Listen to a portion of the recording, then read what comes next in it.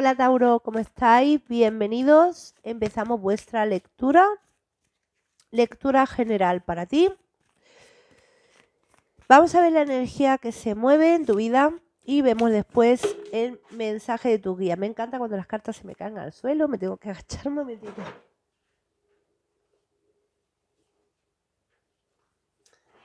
Vale. Vamos a dejarlas. La carta de la luna, vamos a dejarla porque han salido así volando, por algo será. El 6 de bastos, el loco y la carta de la templanza. Tenemos ya la primera línea de arriba. Vamos a sacar la línea de abajo. Tauro.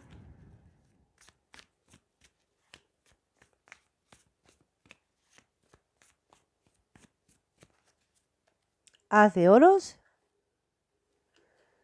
Sota de espadas. Ocho de copas.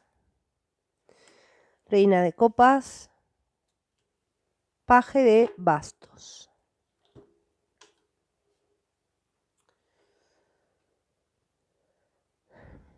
Curioso, Tauro, es curioso porque, a ver, yo te voy a canalizar directamente lo que estoy viendo, ¿vale?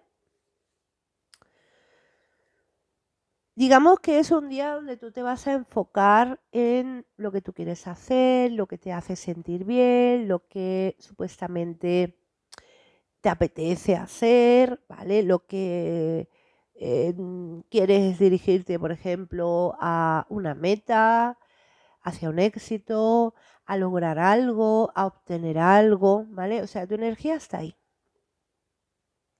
Pero le estás dando de lado completamente otra cosa. Digamos que hay algo, ¿vale? Que a lo que tú eres ajeno a esa energía. O sea, hay un engaño en tu vida hay un engaño, una situación oculta, pero parece como si tú estuvieras vibrando en otra energía diferente. Y yo siento que es que tú no lo sabes. Siento que el problema es que ese engaño no tienes ni idea de que existe. No tienes... Mm, no se te ocurre pensar que esa persona te puede estar ocultando algo. Por eso son como dos energías opuestas, ¿no?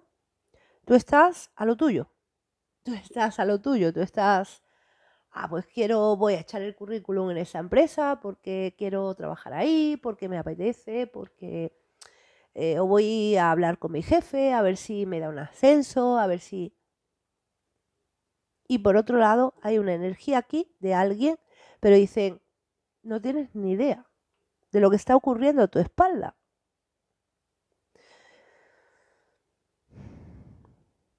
Vamos a mirar eso, vamos a mirar qué es lo que está pasando a tu espalda, que no tienes ni idea, Tauro.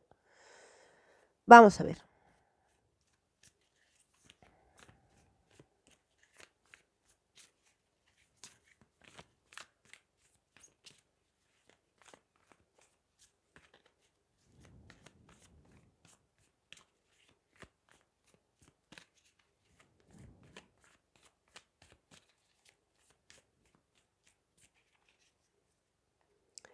Dos de copas.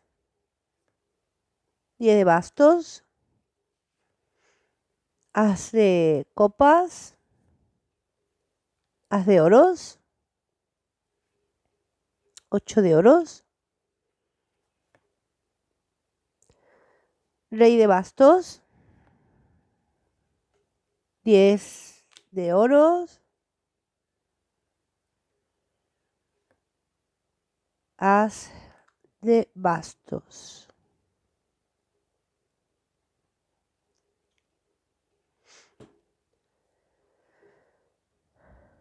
Vale. A ver, el problema está eh, muy sencillo, ¿vale? Muy simple. El problema aquí es, dice Tauro, está dando por alguien que no se está dando cuenta que esa persona no está dando por, por ti. Ahí está el problema, ¿vale?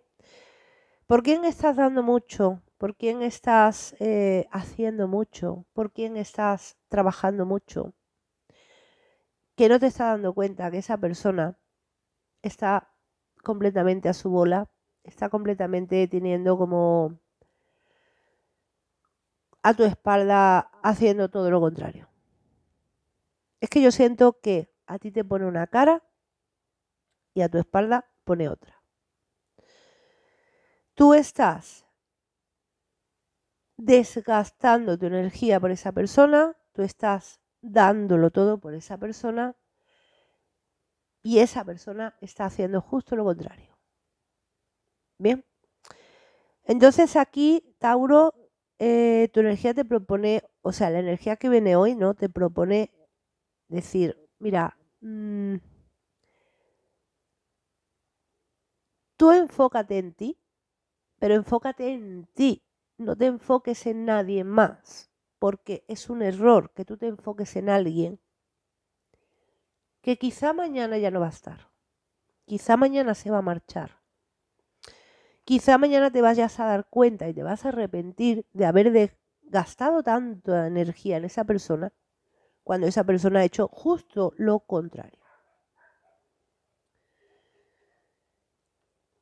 Que no descarto que haya un engaño. No lo descarto. Bien. Pero a mí en la lectura me sale más como, bueno, es más como poniéndote la cara de yo doy todo por ti y luego no es así.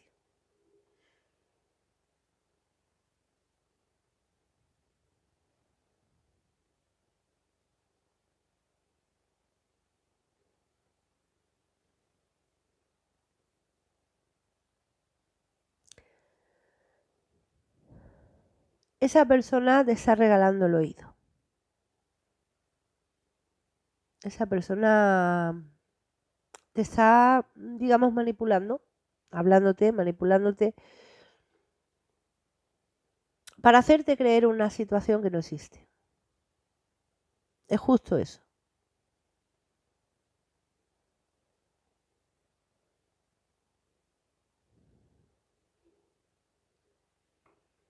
También lleva una careta muy gorda esa persona. ¿eh? Vamos a sacar una última carta, carta mensaje para ti, Tauro.